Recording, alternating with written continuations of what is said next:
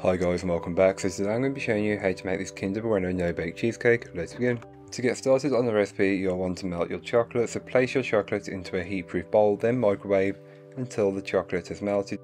Set aside and allow to cool. You'll need this later on. Then you can start the base. So into a saucepan place your butter and place over a medium low heat and allow to melt. Then you can blitz your biscuit up in a food processor. This is the easiest way but feel free to place them into a bag and bash them with a rolling pin you want to get a fine crumb. You can then go ahead and add in the butter over the blitzed up biscuits and you'll want to get it fairly distributed but don't worry once you start mixing it it will incorporate its way through so don't worry if it's all in one area just blitz until it's fully incorporated then you can go ahead and transfer that into your 6 inch deep sided cake tin and then just compress the base down using the back of a spoon or a cup measurement that works well. So to start on the cheesecake filling you'll want to grab yourself a mixing bowl and into the mixing bowl place your soft cheese which is at room temperature. Using it from cold will not achieve the same results so please try and keep your cream cheese at room temperature. So just take it out an hour before you intend on using it. Then add in your icing sugar and the melted chocolate mixture from earlier on.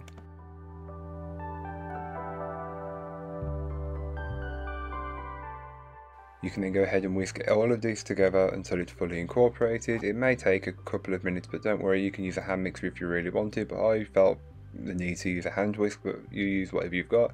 Then give the bowl a good scraping down just to incorporate any bits that may not have been fully worked in from earlier on.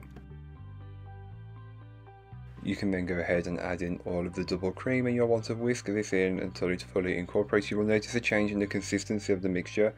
Once you start to whip the cream in, it will start to thicken it may not look like it at first, but once you start, it will thicken up very quickly, so be careful not to over mix the mixture, otherwise you'll have to discard the whole thing and restart from scratch. You can then go ahead and give the bowl another scraping down, and this is just to incorporate any bits that may not have been fully worked in from earlier on. This is completely optional, but I felt the need to add in some more Kinder Bueno, so I just got some pieces of Kinder Bueno and folded them in using a spatula until they were fairly distributed throughout the cheesecake mixture. Then you can grab your base that you placed into the fridge and just generously pour the mixture on top and it should be pretty thick and hold its shape. If it doesn't then you might want to whisk it a bit longer, but if it does, don't worry, good to go. Place it all into tin and level off the top as best as you possibly can.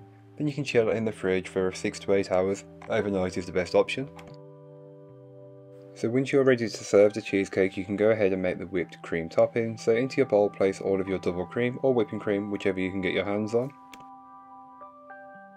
You can then go ahead and add in some icing sugar. The amount may vary depending on how sweet you like it, but this is the perfect amount of sweetness for me. Followed by some vanilla extract and just whisk until the mixture holds its own shape. This doesn't take very long and once it starts to thicken it will thicken very quickly so be careful not to overmix otherwise it will start to have a very unpleasant mouthfeel and it'll just start to look and taste like butter. Once you've got the right consistency, place into a piping bag fitted with a nozzle of your choice. Then you can go ahead and grab your plate, board or stand and place a cheesecake onto it. You can then go ahead and start to pipe the cream on. You can pipe as many or as few rosettes as you'd like, but I went with just enough to fully coat the edge, but it's completely up to you and the nozzle of choice is up to you as well. Then on top I just randomly placed some of the Kinder Bueno pieces, and that was it, it was done. This is ready to be served and enjoyed. So thank you so much for watching, I hope you enjoyed. If you did, don't forget to like, comment and subscribe for more from me and I'll be back again soon with another recipe, so join me then. In the meanwhile, don't forget to check out the description, I'll be a link to this recipe, a link to my blog and links to all my social media, so don't forget to go and follow me over on there, as I am trying to be a bit more active. But that's all for today, I hope you enjoyed. Bye guys.